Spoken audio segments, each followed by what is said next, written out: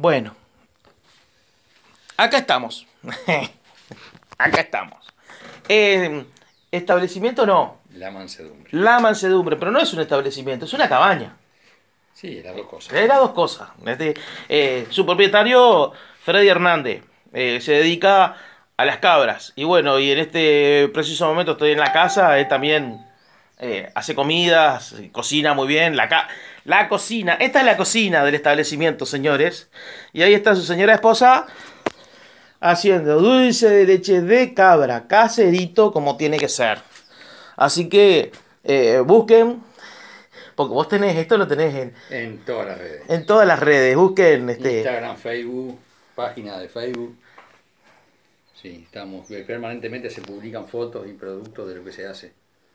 Este, todo, todo cuestiones naturales, productos naturales, sin productos químicos. De esa portera donde vos acabas de ingresar jamás entra un producto químico, ningún conservante, colorante, saborizante, nada. Eh, estamos volviendo a todas las raíces de los abuelos, de los tatarabuelos, cómo cocinaban y cómo hacían las conservas en aquellas épocas.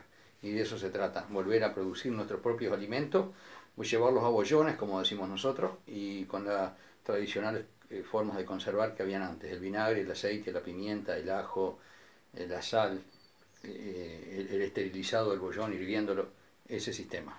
De eso se trata.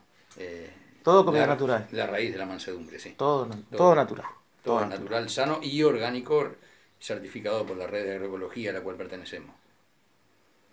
Divino, la verdad, esto, Freddy, el lugar es divino. Bueno, nosotros tenemos algo en común, que nos conocemos desde Gurice porque los dos somos de Joaquín Suárez, oriundos de Joaquín Suárez. No estamos viviendo en el pueblo.